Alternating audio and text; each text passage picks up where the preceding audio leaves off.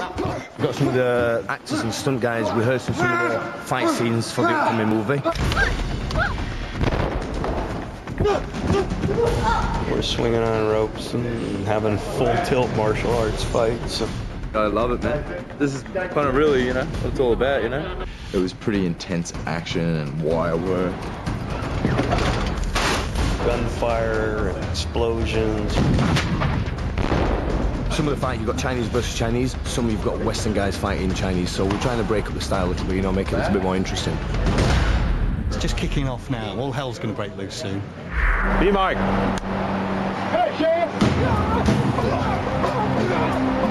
My name's Mike Lambert, I'm the fight choreographer on Mummy 3, and this is what fight choreography is all about.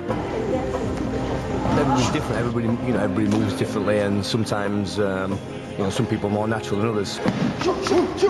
We just got to try and find out each individual's strengths and weaknesses and try to work with that and, and try to bring out the best in that person, you know. Honestly, the energy levels for me, you've like you've moved up a gear. Good.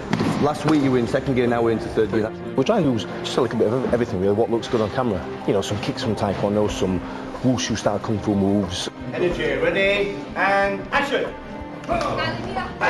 Lin's character is more wushu. Obviously, she's Chinese, so she's like more wushu and flowing martial arts. Rick's style is more, obviously, he's not going to be too fancy, it's raw and ready. Maria, that's uh, Evie's character, she's a little bit more refined, so she's a, a little bit experienced in martial arts, but also she's got a little bit of street fighting as well. And Alex O'Connell. And then Alex, which is played by Luke Ford, uh, he again is a little bit stylish, but again with a little bit of his father's sort of raw st- street fighting style mixed in. As soon as I got the role, I had to start my martial arts training. So we went through a massive process of cardio, um, weights, and martial arts fighting uh, for about five days a week for a good two, three months, and then down to three times a week just before filming so you don't do any injuries. My goal on this picture was just to be committed to not hurting myself in any way. So the best way to do that is to strengthen the muscles as best you can. I did the sword training for a month in advance and the weapons training. And when I did the weapons training, the weapon guy was like, Oh, you're good. I worked for a couple of weeks on wires. I loved it so much. I felt like Peter Pan. Prepare to die! We literally had four hours to shoot this whole sequence where I have to fly off of a curtain into something else, jump on a desk, do a handless cartwheel. And we had like five minutes to shoot the last thing, which was a flip off of a chandelier. And on the first take, I got it.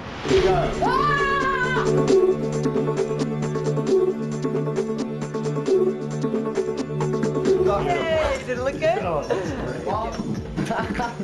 I watched the take back as everyone was laughing. I was like a little kid. I was like, oh my god, that was so much fun. We're setting up for the big rope swings. Whenever you have to put the cameras in odd corners and stuff, usually know you're on the right track. Today we're swinging Alex and Lin off the scaffolding and they take out two of the bad guys. Meanwhile, uh, Brendan will dive off onto the floor to retrieve his guns. A fight starts between Evie and Choi at the same time. Alex is beating up Wilson, one of the other characters, so it's, it's, it's all happening in this sequence. Yeah, this is my stunt. I'm actually quite nervous. The first big stunt I've ever done in my life, so hopefully it turns out really good. That's that. Okay, now, action.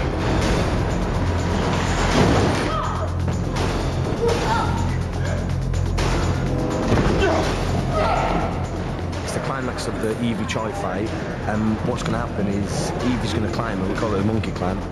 It's almost like a pseudo wrestling where she climbs her, wraps her leg around the neck, hits with an elbow, and then throws in some boxes. That's a pretty good gag. Yeah, yeah, there you go. So it should be pretty cool. Check it out. Beat. Set. Three, two, one, go! Really good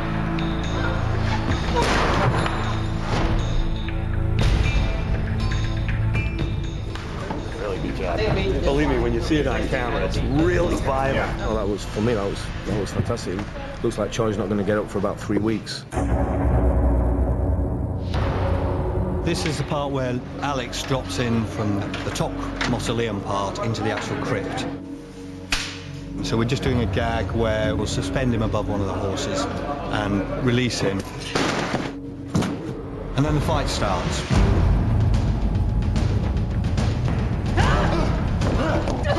We'll have Ming doubling Lin, and uh, she's going to be bouncing around the walls, generally beating Alex up. Probably the most interesting bit about it is Luke's fighting the assassin, who he thinks is a, is a male ninja, but then a little bit later down the line, whips the mask off, and then lo and behold, it's a woman. So that's probably the most gender-bending sort of secret in this fight. Lin is a girl that's immortal. She has a responsibility to protect the tomb, to protect the evilness that could come out of the Emperor if he was to be raised. And that's how I get involved, because here I am not thinking what the consequences of me opening this tomb up.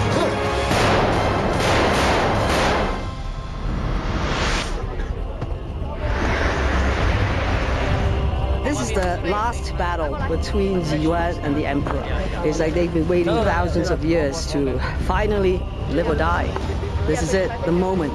Lin's mother is played by Michelle Yeoh. We always imagined her in this role. We started talking about who could play the villain. Jet Li was the first person that came to mind. Two great icons of Chinese cinema going head to head for the first time. In this part of the world, they are gods. They're in the pantheon of cinema. So to see the two of them together is quite wonderful. Very exciting for me. For my part, the whole movie, that's the most exciting day, you know, fight with Michelle. She's uh, one of my best uh, friend. It's amazing, you know. He's fantastic. Always was, always will be. And he's just so accurate, which really makes it, uh, you, you feel safe when you fight with him. We're having a fight sequence with Jet Li and Brendan Fraser. It's the Battle of the Titans. And you pull out the blade and it's fused. I pull it out fused. Yeah. Oh, yeah, okay. cool. Yeah. I hear it's a good script. I should read it sometime. Ready and action!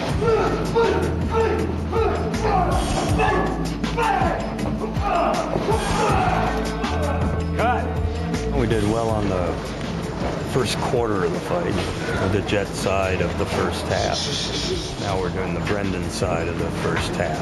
In round one, the Emperor is the winner.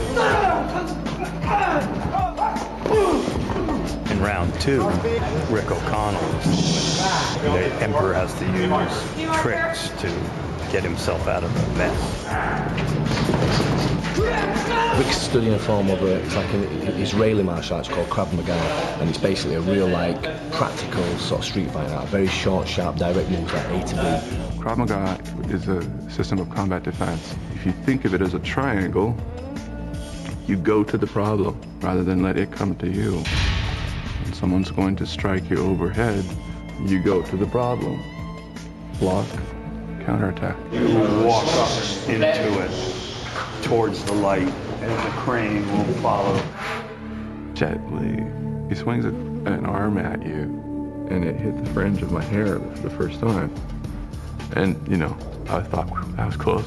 So we were going to go for another take.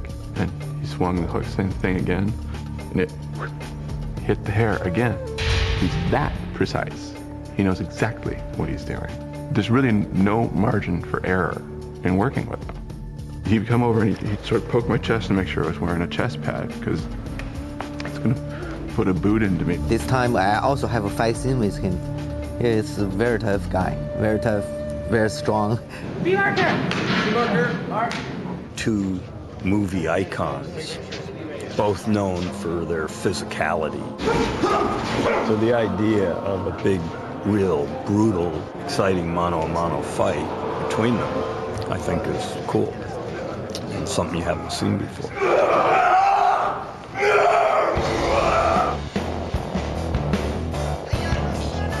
Fighting, it's a dance, really. It's a performance. We're creating something that doesn't really exist.